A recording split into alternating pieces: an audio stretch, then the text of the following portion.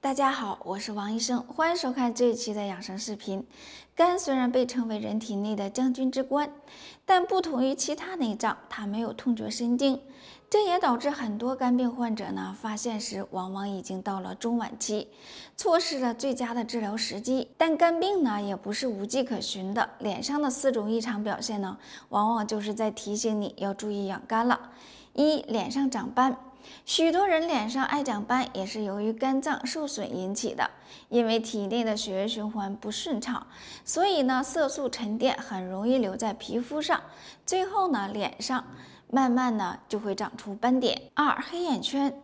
肝脏不好的人呢，通常都有黑眼圈，这是因为呢，当肝病发生时，肝脏不能为人体存储大量的血液，还会造成肝气郁结、气血不畅，从而呢导致气血不足，眼圈或印堂处呢会发黑发乌。三、口臭。肝脏不好的人呢，通常会有顽固性口臭，尤其是肝火旺盛的人。这主要是因为当肝功能下降时呢，体内多余的毒素无法排出体外，肝脏无法帮助肠胃分解多余的食物，导致口臭的出现。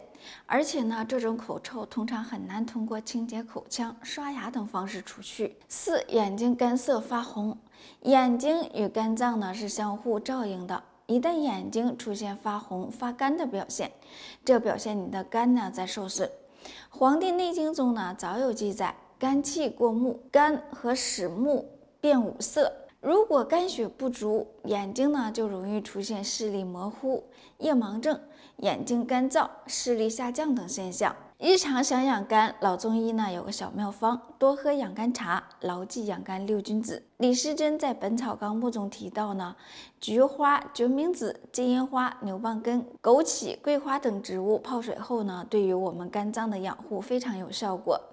金银花呢，自古被誉为清热解毒的良药；菊花呢，清肝明目、去肝火、润肠排毒；枸杞呢，温补肝肾、清肝明目。决明子呢，入肝经，清肝降火，养护肝；桂花呢，通便润肠，止咳化痰；牛蒡根呢，可以排毒通便。将这六种食材呢，按比例制成茶包，方便日常饮用。开水冲泡，喝上一杯，疏肝理气，清火解毒，减轻肝脏负担。